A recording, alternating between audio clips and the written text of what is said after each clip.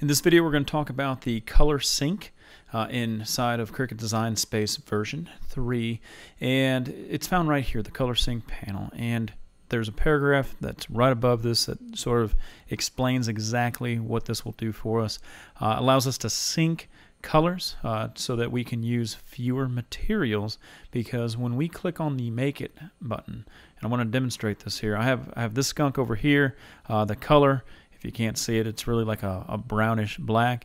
And then I have this skunk over here that's a gray. And we can sort of visually see this right here in the color sync panel. But if I click on make it, it's go I'm going to be presented with seven mats, seven materials that uh, you know Cricut Design Space is saying that I'm going to need for this project. So color sync is a way for you to reduce the number of mats that you would need uh, uh, based upon the material. So let's go ahead take a look how can we do this. So in the color sync tab, uh, you know you can individually you know you know say for example I wanted to ensure that uh, the skunk that I have right here this this one right here uh, can be the same color as this so it shows up on the on the same mat so if you remember uh, if I go ahead and drop and drag this to here, it will now assume that color uh, of that skunk. And now, uh, essentially, when I click Make It, I went from seven mats down to six.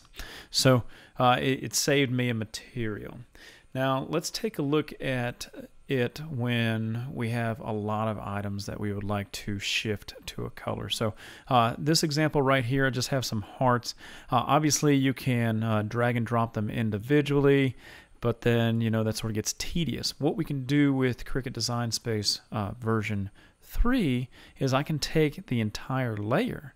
So take a look at this. I got this group of three. If I click on the blue tab here, I can go ahead and drag it up there, and now I just change the color. So uh, makes it very easy when you're trying to consolidate uh, and save material with Color Sync because uh, any variation of the color you will have a new mat when you click on the make it button. So, hey, thanks for watching everyone. I'm Rob with scrappydew.com. If you like this video, make sure you give us a thumbs up. Check out the description below. We have a lot more videos in the description that will uh, help you learn Design Space 3.